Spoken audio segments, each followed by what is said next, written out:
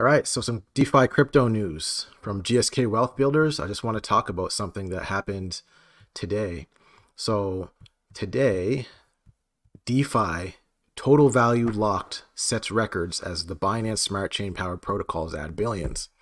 So, if we're talking about DeFi and crypto and becoming uh, or banking the unbanked or banked people becoming bankless, this all has to do with the value creation in the DeFi space, giving people the ability to earn interests like in the 70s and 80s. So in the 70s and 80s, the reason why people would save a lot more is because they get returns on their savings. 10%, 15% annual return on their treasury bills.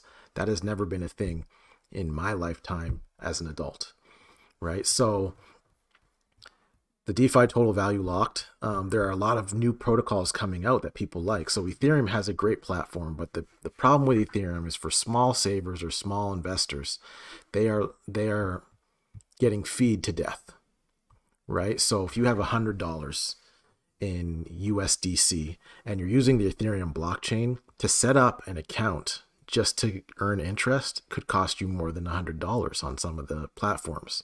So there's no sense in doing that. Now, when you have a larger amount, $10,000, a million dollars, these fees don't matter as much, but fees kill on the Ethereum blockchain. Binance Smart Chain was able to develop uh, a smart chain. It is not decentralized, it is centralized.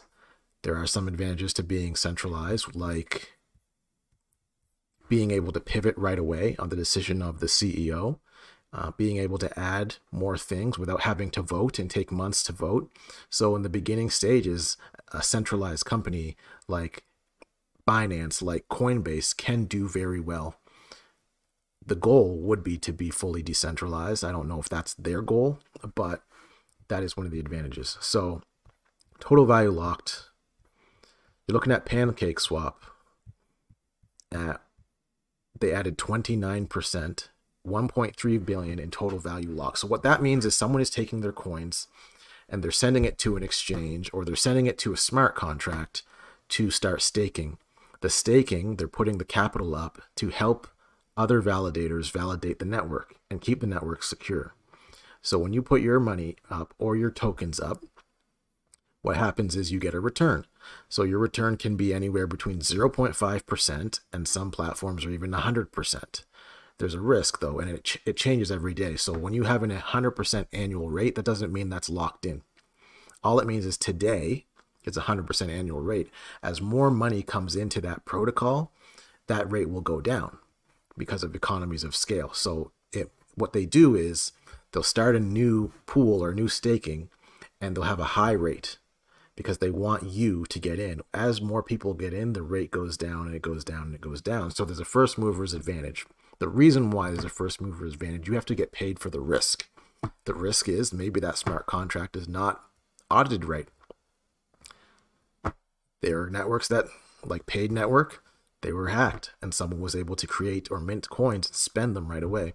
So you put your money in and then all of a sudden you get hacked, rug pulled, something like that that's the risk. That's why they're paying you high amounts. But once there's large amounts of money, people are assuming that it's safe. It doesn't mean that it's safe, it just hasn't get hacked yet. So, anyways, the DeFi protocols are up and they're at uh, billions. So we can just go to DeFi Station and look at what's actually being locked in DeFi. So I'll have to check on the last time I did the crypto show. But in the last, let's look at the last seven days the last seven days, we've gone from 13.8 billion to 18.2 billion. So in seven days, $5 billion has been locked in DeFi. That's amazing. 24 hours, 3% change. And the leader, the lending platform, Venus Swap, $6 billion. Ellipsis Finance, they've came out of nowhere. I actually don't know who they are. Wow. Um, that's crazy. Ellipsis Finance, Auto Farm, Pancake Bunny. So these are the protocols that have the money now. Let, let's just look at Ellipsis Finance. Where did this come from?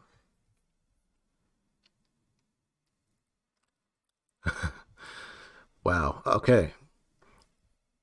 So Ellipsis Finance is four days old, and it's 1.8 billion in total value locked. I have no idea how that happened. So this is the thing about crypto. Every day is like a month in you know in real life. Every day in crypto is like a month in the stock market, right? So what they're doing is it looks like there's pools set up. I'll have to do the research on Ellipsis, but there's pools set up and they have BUSD, USDC, and USDT. The base is 0.84 what is the value proposition of ellipsis?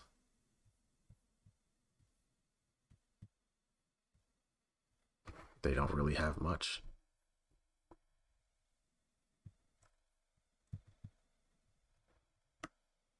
This is weird to me. Why is there 1.8 billion? So I'm just going to look for the white paper of Ellipsis Finance.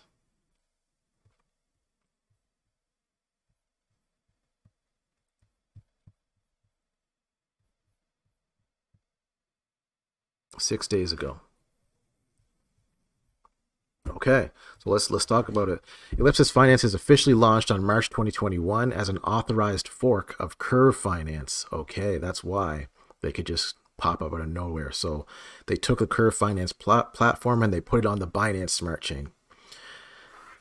Anyone who's used Curve will know how to use Ellipsis. So as a result, the Curve holders will receive 25% of the token supply airdropped monthly over the next 10 months. So if you hold this token, you're going to get airdrops every month, which is basically a dividend in coins, but it's diluting the coins.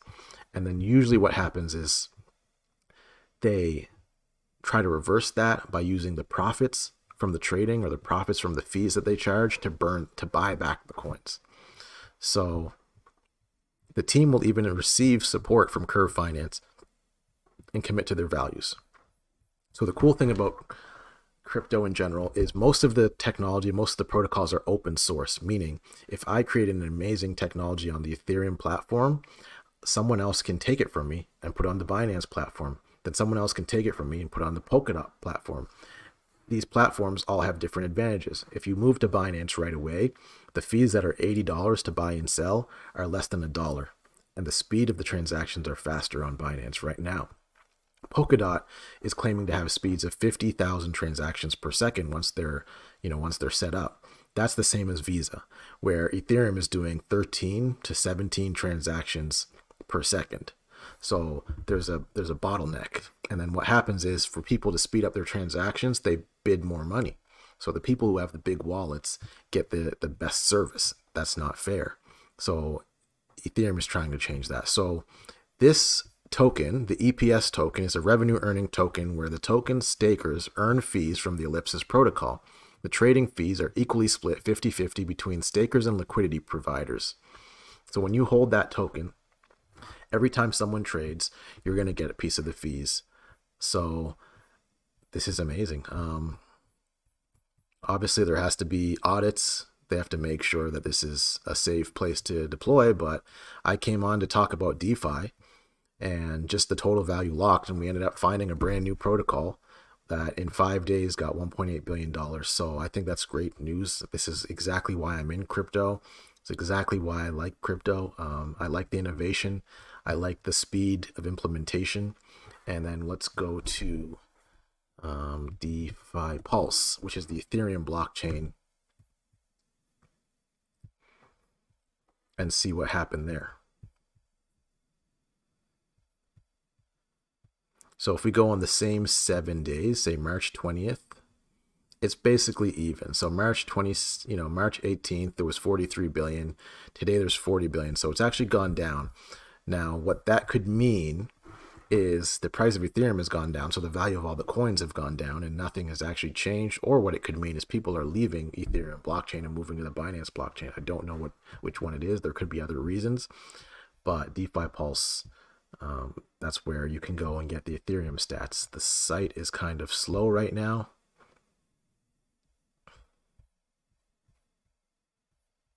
Yeah, the site is slow. But that's all I wanted to talk about was DeFi, how it's growing, and now we have another platform to look at. So that's all I got for today.